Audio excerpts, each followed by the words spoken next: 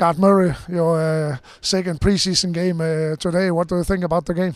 Uh, it looked a lot better for sure. Uh, a little bit more flow, passes around the tape, bit more starting to know where guys are on the ice and and where they should be. Uh, you know, good first. Second was uh, they pushed in the second. I thought we had a good third as well. So you know, it's just we're obviously just getting going here, but it's starting to look a lot better out there.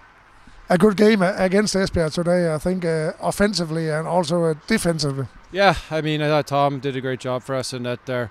Uh, but you know, we were there. We had guys in the house that were looking to protect that. We blocked some shots as well, so it's nice to see that early. Uh, you know, we are a team. We know when it, when it really matters, you got to win these tight games, and uh, uh, we're able to do that tonight. A good game from both goalies today. Yeah, yeah, for sure. There was some definitely some chances. Uh, uh, you know, we could have had a few more if it wasn't for some big saves by him back there, and Tom made some great saves for us too. Um, you know, they're a dangerous team that can strike at any time. So yeah, that was a good, you know, a good game both ways. Thought we defended pretty well, and then uh, created some created some scoring chances too. Unofficial debut to, to Thomas Lilja today. A good game from him. Yeah, for sure. You know, that's. Uh, I mean, he's got to feel good about it playing against his old squad there. But uh, he looked confident in there, uh, so it was nice to see. Garth, uh, the first game against uh, Frederikshavn was, was not that good as, as the game today. What what do you expect to to get from these preseason games? Yeah, you know the Frederikshavn game, I thought we actually did control a good amount. We just made a couple big mistakes you can't make. Uh, so we've watched and learned from that already, and I could see it in tonight's game where uh, we weren't diving in as when we when we didn't have that support. So uh, it, it's it's a building process. We won't stop building and getting better till till you know playoffs start rolling around here. So uh, you know, nice to nice to get this in. Nice to get the guys' legs and lungs going too. You know, there's nothing like playing games to get into good shape.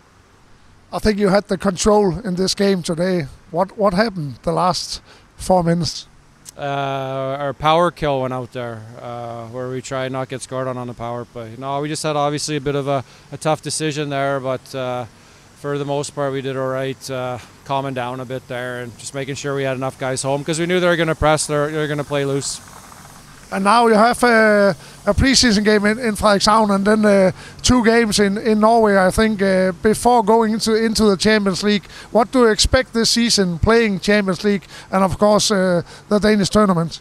Yeah, yeah, another game to kind of get going here, and then Norway. But you know, Champions League's always fun. I think it's a, a good learning thing for the team and for us coaches to see what other teams in top leagues are doing and, and how they're playing. But it'll be fun for us to match up. Uh, you know, we got a good team in there, so we will look to make some noise in those games for sure.